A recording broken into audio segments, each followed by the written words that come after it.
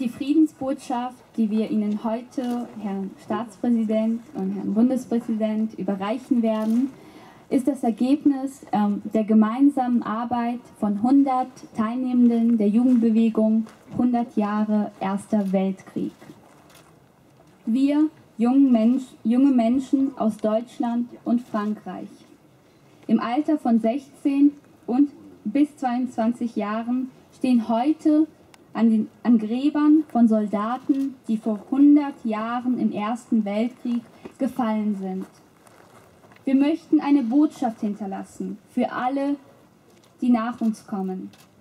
Wir spüren, dass der Wille nach Frieden unter Jugendlichen stark ausgeprägt ist.